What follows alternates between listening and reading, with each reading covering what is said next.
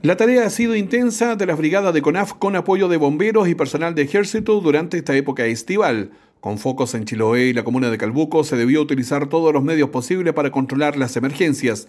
Si bien se registra una variación en la temperatura y sistema meteorológico, la preparación y alerta continúan.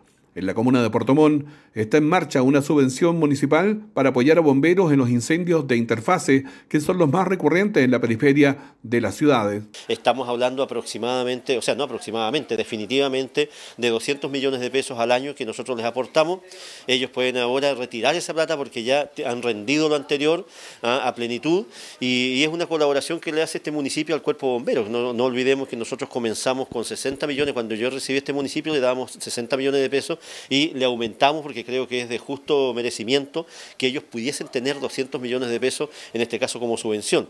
Y lo otro también la preocupación, una de las principales preocupaciones son los incendios, incendios forestales, las quemas de matorrales. Asegurada la subvención, nos comentaban, así que nos vamos bastante contentos. Eh, además, esa subvención nos permite a nosotros, ¿cierto?, volver a adquirir material mayor, material menor, equipamiento para nuestros bomberos, ¿cierto?, para, para seguir con el servicio que prestamos día a día. Junto al apoyo aéreo y trabajo de CONAF, Bomberos desarrolla una labor relevante en el combate de los incendios en ocasiones, a pesar de lo difícil de la geografía. Se utilizan piscinas de abastecimiento, pitones de alta presión, equipo de respiración autónoma y camiones aljibes para lograr controlar los focos antes de su propagación, disminuyendo así el riesgo para los inmuebles cercanos.